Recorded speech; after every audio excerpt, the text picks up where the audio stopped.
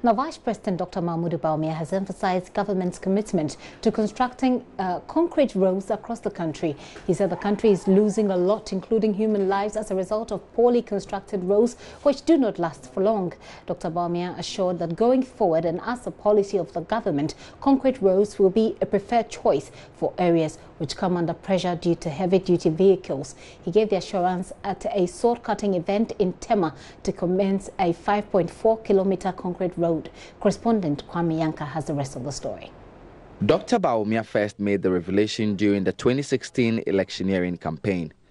The 5.4 kilometer road in the Tema industrial area will be constructed by two Ghanaian firms. It will be completed within 18 months. Dr. Bawumia explained concrete works are more durable and cost effective compared with asphalt. He cited the Accra Tema motorway as an example. To this end, government has initiated the construction of the Tema Steelworks roads and the DVLA road.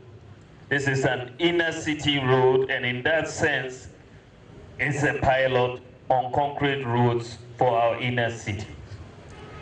The choice of the steelworks and DVLA roads in Tema are based on the functional use of the roads by heavily loaded vehicular trucks.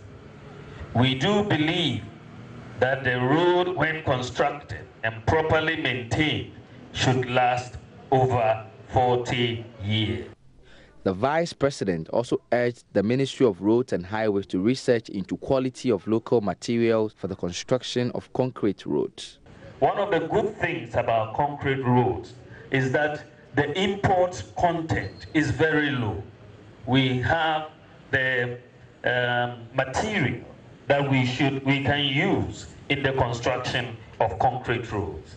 The Ministry of Roads and Highways should undertake research into the use of local materials like pozzolana, cement, aggregates, and the sand in road construction with the main aim of reducing the cost of concrete roads. Roads Minister Kwesi Amoako Atta revealed all is set for the construction of the Pokuase interchange.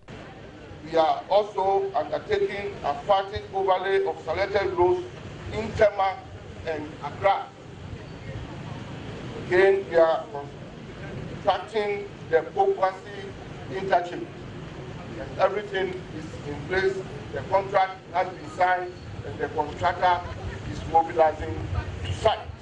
The event was also graced by some traditional authorities among other state functionaries. Kwame Yanke's reports for Joy News.